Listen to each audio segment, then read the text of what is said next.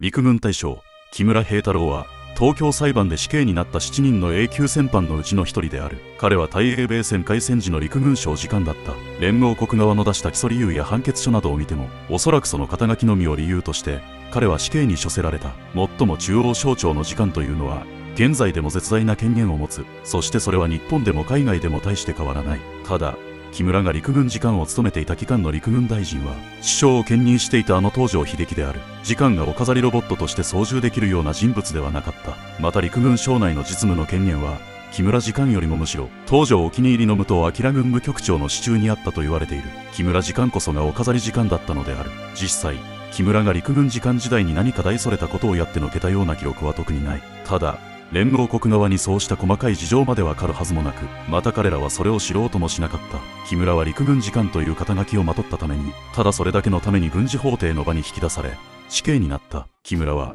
広島第一中学2年から広島陸軍幼年学校に進み陸士陸大を出てドイツに駐在したエリート軍人である。木村の陸士20期は1945年5月下村定吉本定一及び木村の3人が揃って大将になった。これ以降日本陸軍の大将は生まれなかったためこの3人が最後の陸軍大将である。開戦前の1941年4月木村は陸軍次官に転任する。これは東条陸軍大臣の指名であった。木村は登場罰とみなされているがこれまで両者の接点はほとんどない。東条は木村の3代前の関東軍参謀長であり関東軍参謀長から陸軍次官に転じた木村と同様の経歴を持っている。木村の時間在任は1941年4月から1943年3月までの2年であった。昭和に入ってからの時間としては長い方に属する。内閣は近衛内閣。東条内閣の2代であったが仕えた陸軍大臣は終始東条英機であった。この頃東条系グループとしては陸軍省に木村のほか人事局長を経て後に木村の後任となった富永教授軍務局長の武藤明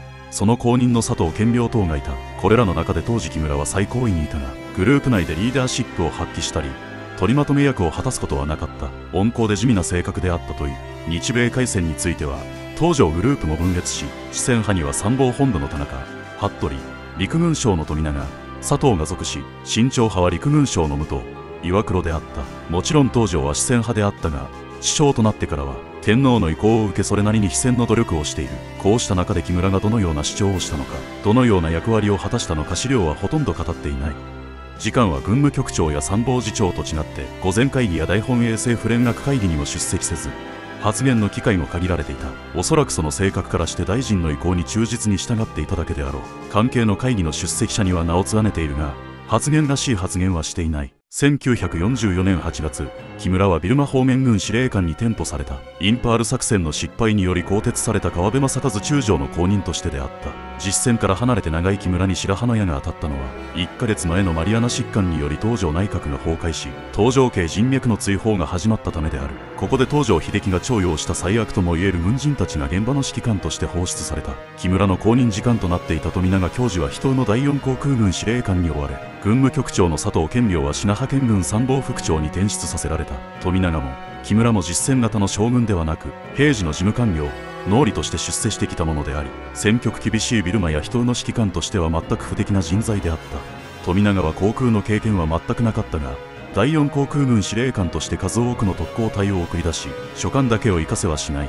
最後の一機になったら富永も後に続くと言いながら多数の部下を置き去りにして台湾に逃亡した。木村も富永と好一対を成した。戦争末期の1945年イギリス軍のビルマ侵攻が開始されビルマの防衛は危機に瀕していた。イギリス軍は4月中旬にはラングーン街道を一挙に南下してラングーンを目指した。この情勢に方面軍司令部はにわかに浮き足立ち木村軍司令官以下司令部幕僚はなけなしの飛行機でラングーンを脱出。大国境に近いモール面に飛び立った。この方は瞬く間にビルマの全将兵に軍司令部逃亡せりと伝わったという。木村のラングーン脱出の状況は各種戦士に記録されているが脱出どころか夜逃げ同然の逃亡と伝えられており当時の部下からも厳しく批判されている。当時ビルマ大使館員であった田村正太郎は脱出の直前の木村に会っていた。その様子をビルマ脱出機で軍司令官はブルブル震えてろくに声も出ないありさまであった。恐怖で手が震え何も話すことができなくなるほど動揺し作戦指導はほぼ不可能な状態に陥っていた。と書き残している。木村は4月23日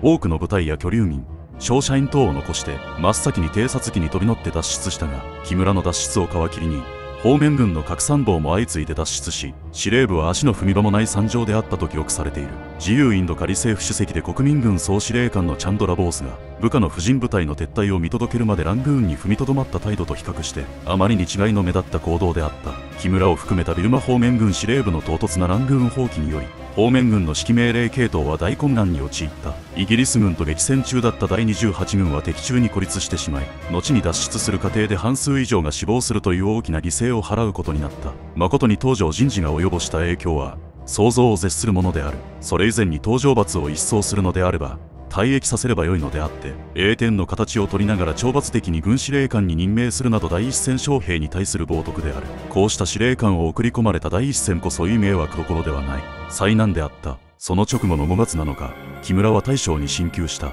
司令官逃亡と遠佐の的になっている最中のことである。インパール作戦で大敗した前任の川辺正和の大将進級とともに負けても大将かとこの人事は当時でも激しい批判を浴びた。木村は軍人としての最終局面において大きな汚点を残したが以下のような話も残されている。開戦初期のラングーン占領時にイングランド銀行から押収していた貴金属宝石類が20箱分あったが終戦後これを密かに日本軍のために使いたいとの参謀の意見無心に対し木村は厳化に却下しイギリス軍への返還を命じたという。こうした逸話を見ると木村の文化的で良識的な人間像が浮かび上がる。ビルマにさえ追いやられていなければ武人としての最後を汚すこともなかったであろう。敗戦後ラングーン近郊の陰線キャンプに収容されていた木村は1945年12月初旬永久戦犯容疑で東京へ送還された。日本側では木村は単に東条のお供え物的に告訴されたとみて死刑になる可能性は少ないとの予想が支配的であった。しかしながら木村自身は彼なりの裁判議会から死刑判決を予想していたらしく